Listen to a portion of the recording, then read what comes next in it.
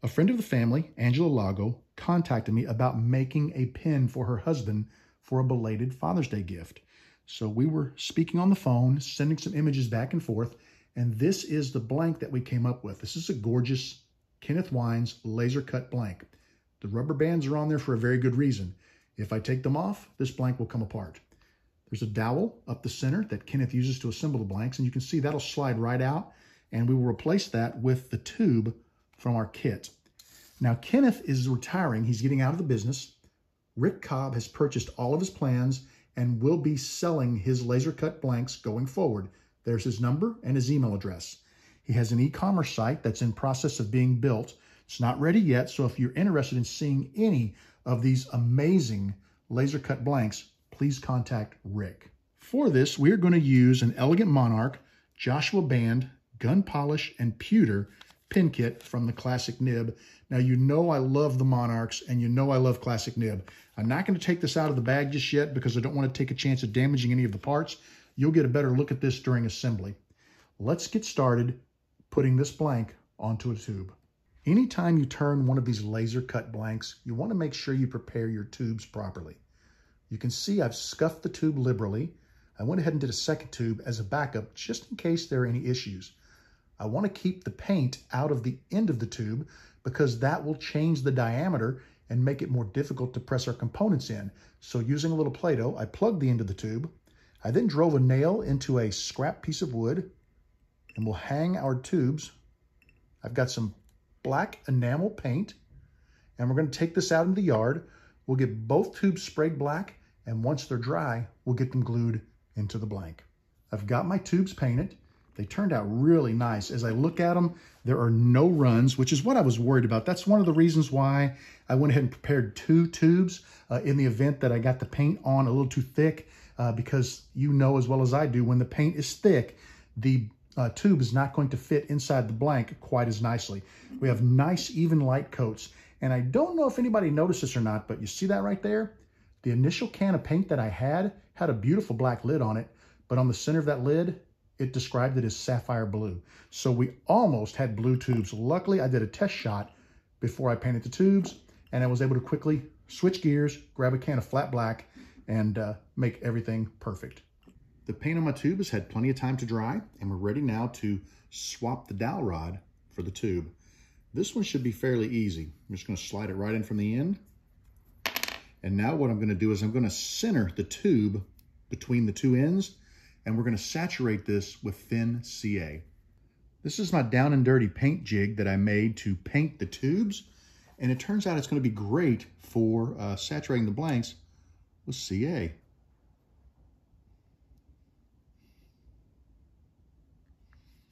Just let it roll around on there a little bit. Let's get the back side. I'm being careful to get it up to the edges, but I don't want it to run over the edges and get inside of the tube. Just gonna use this little tool here to roll the blank over. And we'll get some on the other side. I've got cardboard under this for obvious reasons. I don't wanna coat my table with CA glue. And I am not going to use activator on this. Um, I'm just going to let it sit and dry naturally. A little bit out here on the end. And I'm going to make sure the entire blank is wet. Looks pretty good to me. All right, we're just going to let this set and dry. And when it's done drying, we'll be ready to turn.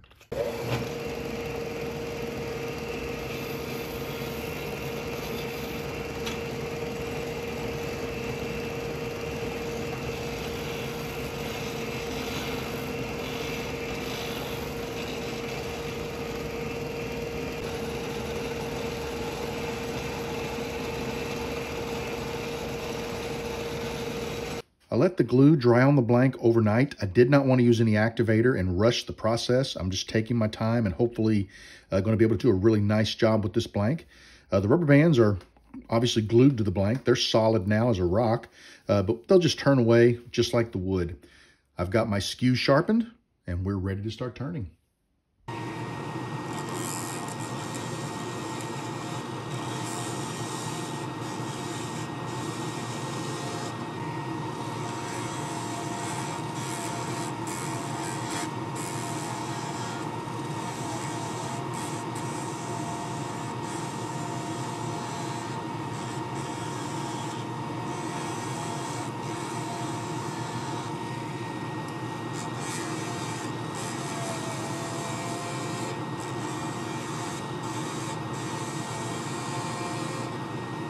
Wanted to take a look at the blank, make sure everything was going well.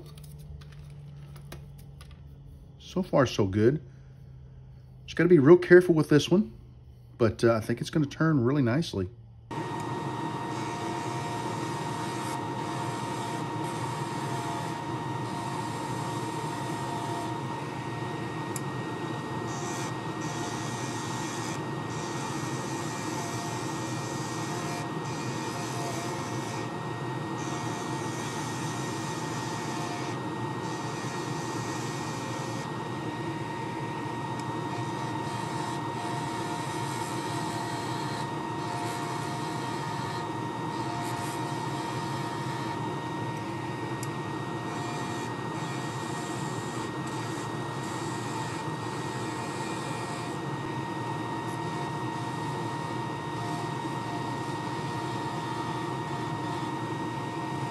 Taking a look at the blank, it turned really nice.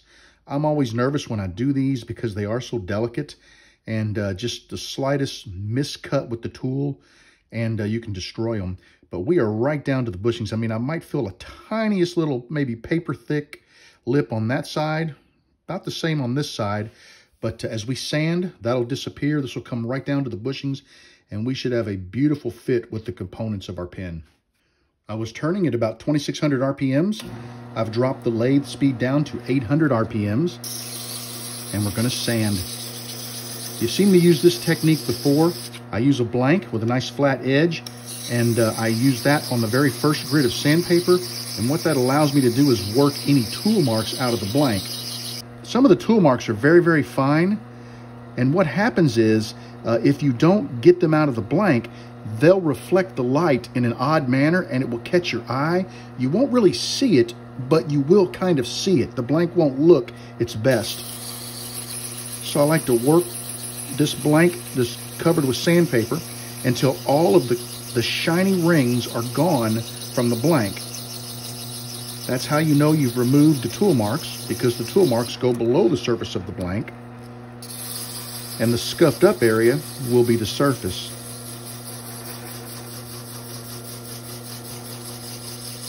We're looking pretty good. Okay, now what we want to do is, uh, since I worked it with, this is 120 grit sandpaper, there's a few little scratches going around the blank, centrifugal scratches. I'm just going to lightly scuff the blank from end to end. And what this will do is get rid of those deep centrifugal scratches. And then we'll come back with our 220 sandpaper and uh, sand normally. We don't need to use the blank any longer. Let's take a look at that. Always inspect your blank closely for scratches. Okay, she looks pretty good. I'm going to run through the rest of the grits of sandpaper. We're going to go up to uh, 600. Uh, I'll come back and show you the blank right before I start to apply a finish. I finished sanding, and I've gone ahead and swapped out my turning bushings for my non-stick bushings. And we're going to use a little denatured alcohol, and we're going to wipe the dust off our blank. Want to clean it as best as we can so we get the nicest finish possible. You can kind of get a hint for what the blank's going to look like when it's shined up with the denatured alcohol. Looks like there's a little zebra wood in there. I see some padauk, some uh, purple heart, maybe a little yellow heart. I'm not sure how many woods are in there, maybe six, seven different woods. Really is a beautiful blank. Once you clean the blank with denatured alcohol, you do not want to touch it. So I'm just going to use an acetate brush and knock down any fuzzies from the paper towel because we don't want those in the CA finish. Normally when I finish my blanks, I use five coats of thin and five coats of medium, but these laser cut blanks, um, because they are multiple pieces, it's like a very deep grain sometimes, so I anticipate needing a few more coats of medium CA. Look how that looks. Isn't it beautiful? I'm going to go ahead and shut the camera off We'll apply the rest of our thin. I'll then apply five coats of medium. We'll go ahead and micro mesh, and then we will closely inspect the blank uh, to make sure we have a nice smooth surface, and we'll apply additional coats of CA if needed. I will show you the blank when the CA is finished, uh, right before I go to the micro mesh, and we'll talk through any, any concerns that we have about the finish. I've got five coats of thin and five coats of medium on the blank. I'm just rotating it and watching the reflection across the top of the blank. Uh, and that reflection will show me if there's any grain that was deep and I need to put another layer of CA on there, uh, or if there's any gaps between the pieces of wood, uh, which they're pretty tight, but if there were, that could cause me to need a little more CA. All in all, I'm not seeing anything. It looks really nice. I'm going to go ahead and I'm going to get it off of the nonstick bushings. We'll clean the ends up, get it back on the turning bushings, and then we're going to micro mesh it, and uh, we'll take a closer look at it once it's micro meshed.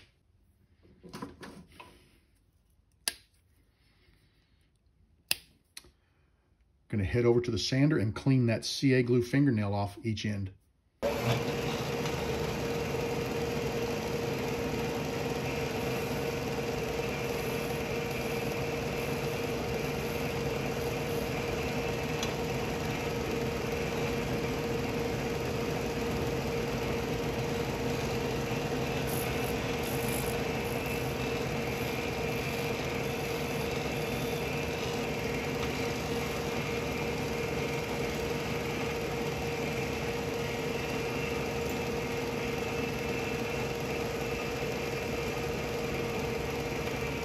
With the ends of the blank cleaned off, I went ahead and put it back on the turning bushings because as we micromesh, we want to make sure we micromesh right down to the bushing.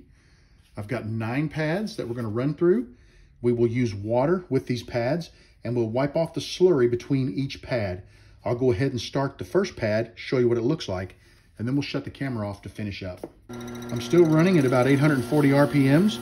You'll notice that the pad is wet and I'm going to count about 20 seconds. That's probably about eight 9 1000, 10 1000.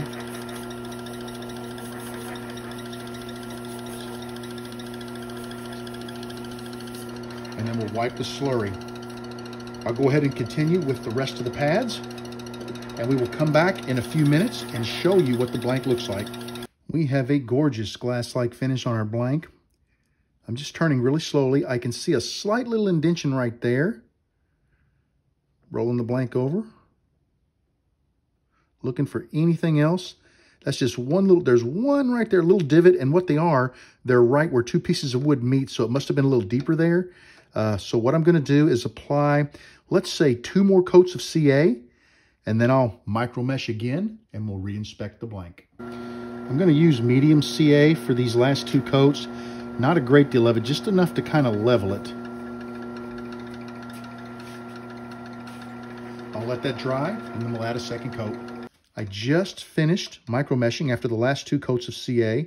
I only micromeshed for 15 seconds per pad this time because I only had two coats of uh, CA on the blank, and the idea was to take it back down as close to the original layer as possible, um, and that will fill the, uh, the two little divot marks I found. And as I'm rotating the blank and watching the line, this blank is just gorgeous. I have a glass-like finish, and the blank looks beautiful. Let's uh, get it to the assembly table and get this assembled into a kit. Actually, let's put some Renaissance wax on here and let's buff this up on the buffing wheels. Then we'll hit the assembly table.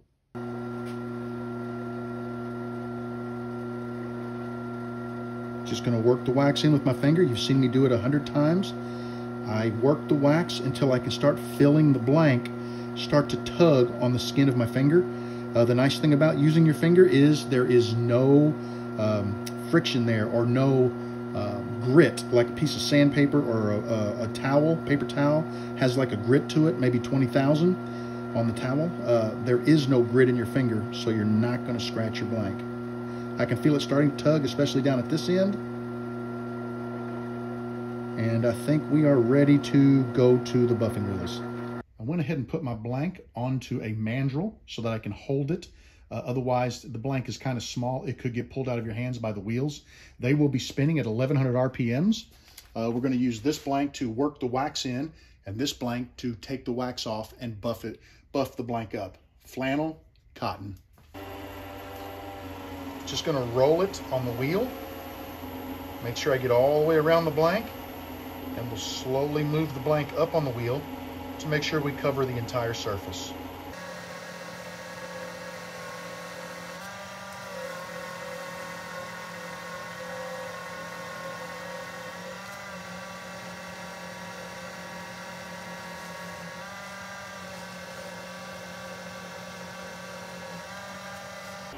The light is not the best over on this side of the shop.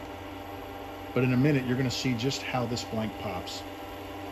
Let me start off by giving you a little better look at this blank. Isn't that gorgeous? Just look at that shine. What a beautiful blank. One thing I want to do is, these are very thin when you get done turning them. I don't want to have any CA glue in the ends of my blank that could uh, make it difficult for me to press the component in and could potentially uh, cause the blank or the tube to deform and split the blank. So just using a deburring tool. And now we're ready to assemble our pin. I've already slid the cap onto the clip and I've already put the transmission sleeve onto the nib. What we're gonna do is grab one of our bushings. We'll slide that into the back of our blank, or the front actually. We're gonna grab cap to our pin and we're very carefully gonna press the cap into the blank. There we go. Ooh, nice. Very nice. Whoops, drop the bushing. Take a look at that. We have got a gorgeous fit between that blank and that cap. Take the front half of our pin. The spring is already on the refill. There's a little ball on there we're going to remove. I'll drop that into the nib. We'll add the transmission. Let's twist it a couple of times just to get the grease working. There we go, nice and smooth. And I always hate touching the transmission because there's a little grease on it and I get my fingerprints all over the pin, which doesn't make it look as nice. But take a look at that. Isn't that a beauty? And look at the fit that we have down around that nib. No gaps, nice smooth transition. That is one gorgeous pin. I'd like to thank you for joining me in the shop tonight. I'd also like to say thank you to Angie for uh, asking me to turn this gorgeous pin uh, for her husband as a belated Father's Day gift. I really think he's going to like it. I can't wait to put it in her hands and let her see what she thinks of it. Uh, I'm super happy with how this pin turned out. Once again, thank you for joining me in the shop. I want you to know that you are always welcome in my shop. Come back and see me again real soon and have a great evening.